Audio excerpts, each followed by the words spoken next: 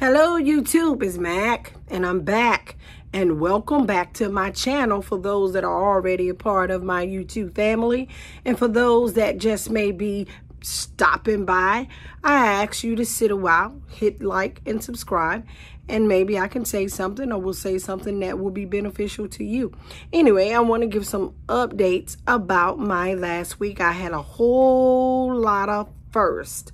So, well, I say first and a lot of returns. But anyway, we buried um my great aunt last week, which I don't like to do a lot of mourning about things. It hurt, you know, because you miss people. But anyway, I counted a joy, you know, to celebrate the lives um, that people lived. And then it just inspired me to, to live my best life because, you know, life is short.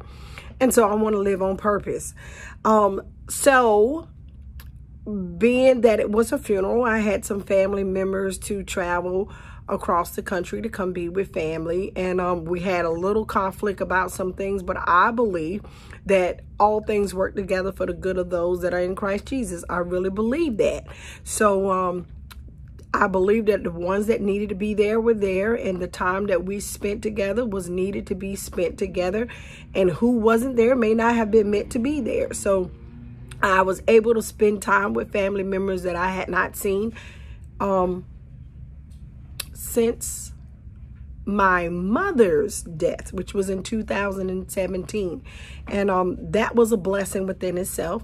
And then I did, um, got checked off some things off of my goal list, and that was to join the gym and I did join the gym and I actually went and worked out and then I had joined another gym that has this um has the sauna and um I've been doing that and then yesterday I did two things. I went back to church. I haven't been to church but once since 2020 and um, I went to the track yesterday and then returned back to the sauna.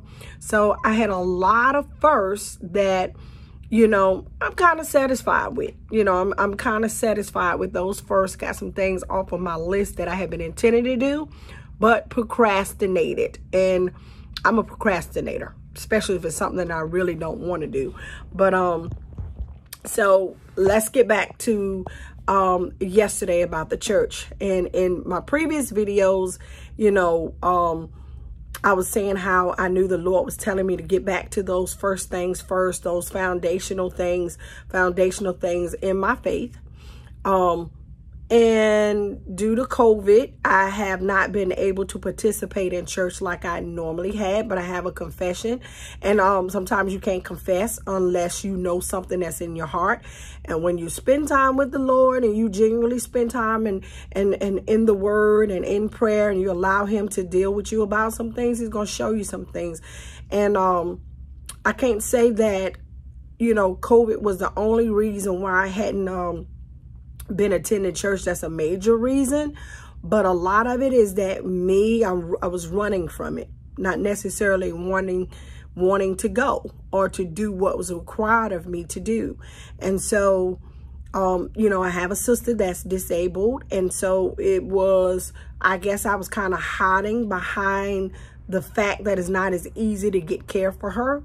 And, um, and it's not that easy to get care for her, but I guess I kind of got relaxed in trying to make sure somebody's always there with her because whenever I would go, I would have to rush and come back and um that could be kind of frustrating sometimes. And so you're kind of like on a time clock all the time. And so I just got lazy and, and, got tired of wanting to push that. And so every time I would get ready to go, something would come up and I just stopped, started just watching it online and I got lazy.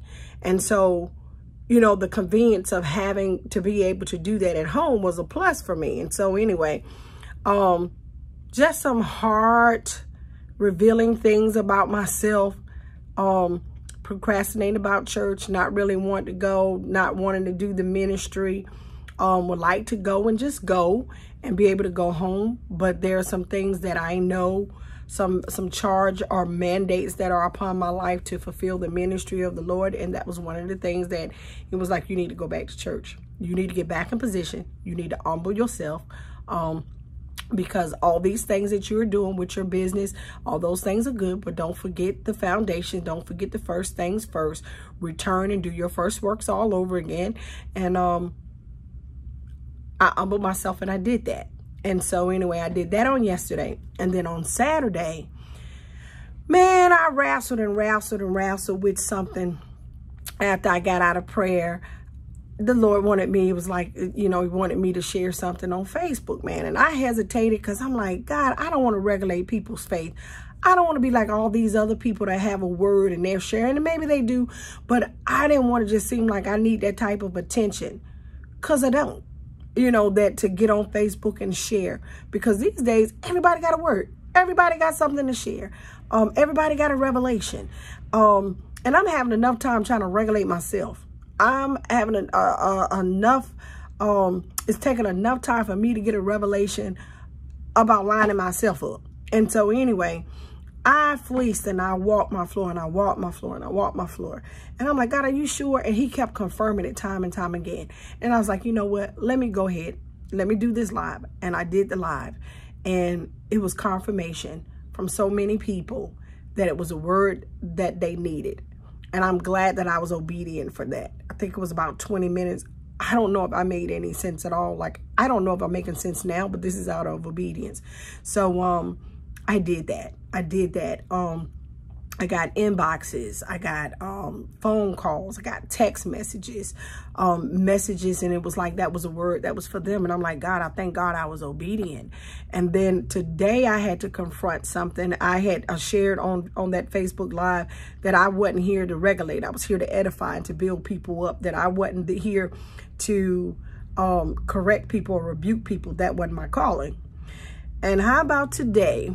Well, he's been showing me for a while. It was an individual that, um, that, um, you know, loves the Lord and I believe is called to ministry, but they are not submitting themselves under someone or it doesn't appear to be. And so, which is not my business, but I know that, um, he was like, you know, when you have individuals who won't submit themselves or humble themselves under some type of authority that can lead and guide them, that can correct them and support them, then they're kind of like renegades.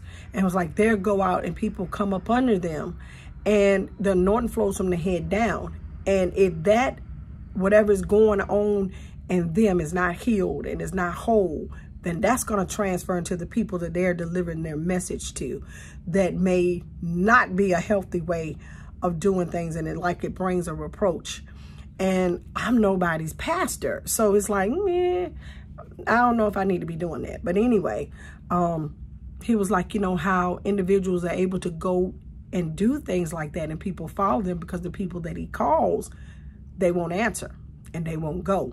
And that gutted me because that would be me.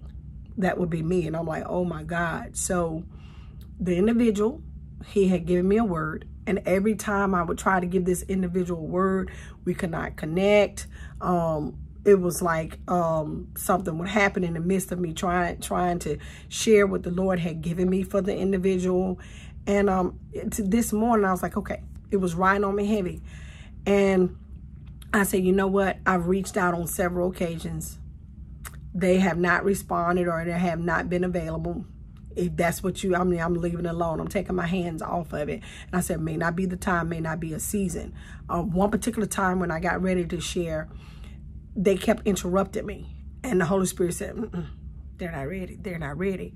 And so, um, just so happened today, the individual, I mean, literally just walked in my office and had a seat. And I was sitting there like, and the Lord was like, now's the time. And I had to share. And it wasn't it was kind of like a rebuke. But any, I, I know that when, when the, Lord wants to speak to you, when he wants to speak to me, he comes in a loving way. Sometimes it's funny and sometimes it might jaunt me, but I know that he loves me so I can take that correction. And so anyway, when I shared with the individual, they were like, okay. They received. And I'm thinking, I was expecting a rebuttal. I was expect, expecting um, you know, to be like, who you think you are? You know, who you talking to? But they received it. And I was like, oh my God, okay. And I was like, you sure? And they were like, yeah.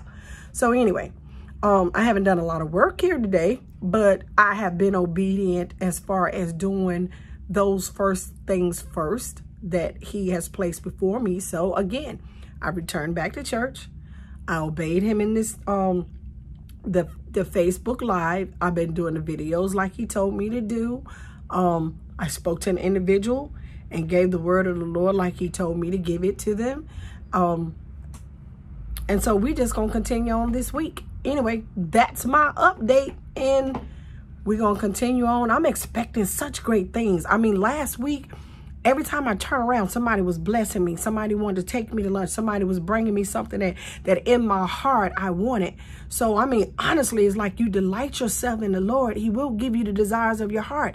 And the delight yourself is to be obedient. Okay, phone ring. Bye.